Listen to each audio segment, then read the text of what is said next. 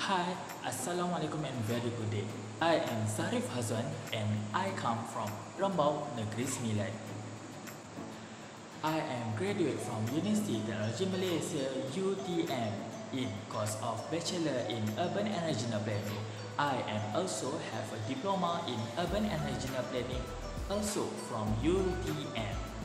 My passion towards graphic designing, painting, traveling and also active joining variety of programs. That's why I am capable to have a good communication skills, leadership personality and also creative person with various imaginary. I also have skills using Adobe Photoshop, Adobe Illustrator, AutoCAD, Microsoft PowerPoint and also SketchUp.